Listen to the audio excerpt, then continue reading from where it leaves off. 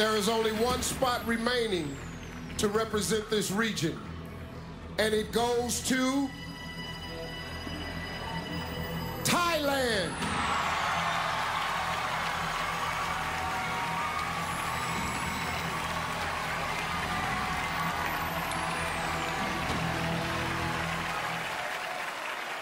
How are you?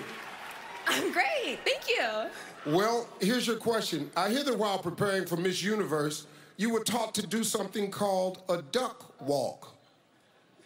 Uh, what is it, and does it involve any quacking? no, it doesn't involve any quacking. But what it is is, as an athlete, I needed to learn how to do more hip swing so that I can improve my catwalk. And so what it is is you are on high heels I'm gonna kind of mini demonstrate here. And then you go down and you pop your hips one way and the other. So on the so the reason why it's called a duck walk is because if you walk like that, it kind of resembles looking at a duck like wagging its tail, its butt. So, but no, you don't need to to quack when you walk. In, in America, that has nothing to do with a duck at all. Nothing. Thank you, Thailand. 20 semifinalists.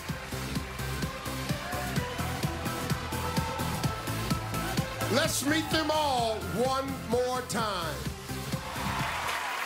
Thailand.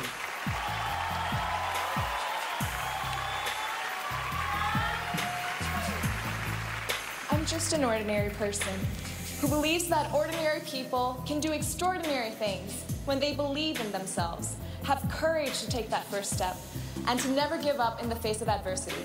I'm standing here today because I followed my heart and dared to live my dreams. Thank you. Two spots left in the finals. One goes to Thailand.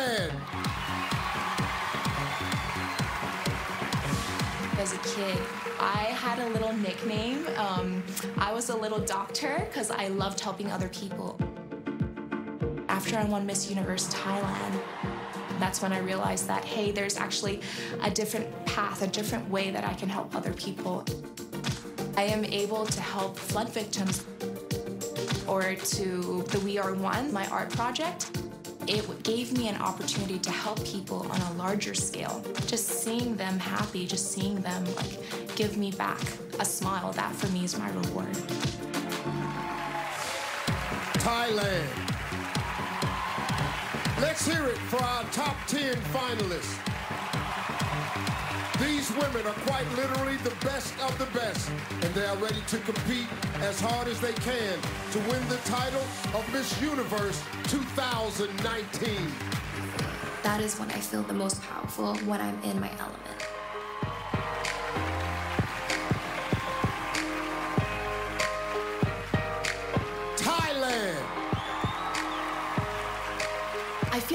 Powerful when I know that my journey is able to help inspire and motivate, as well as encourage other people to take care of their body and to feel happy being healthy.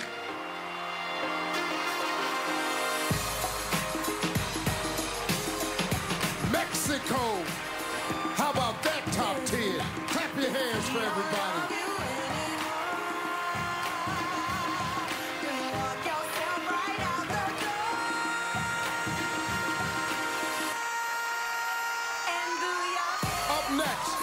to spend some time with the reigning Miss Universe.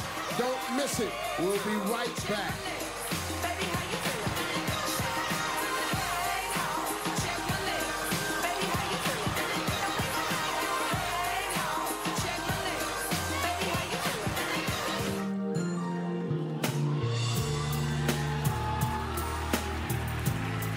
Thailand.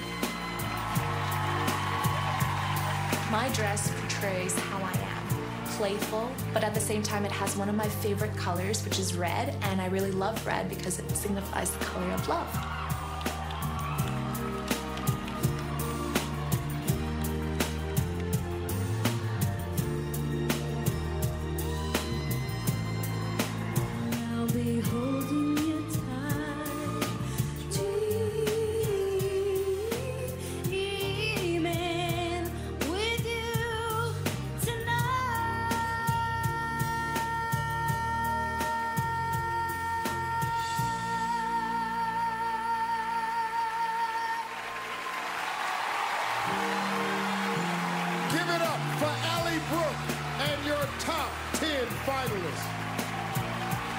When we come back, five will move one step closer to being crowned Miss Universe 2019 live on Fox.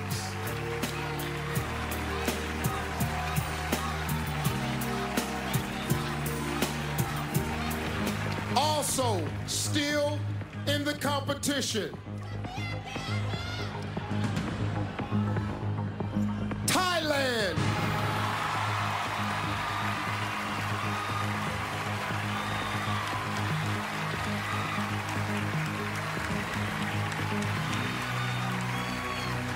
Thailand, you're next.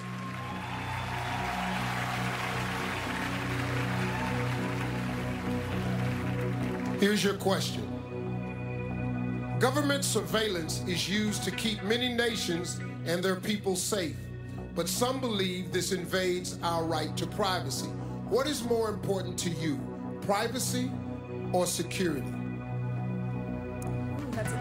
Question.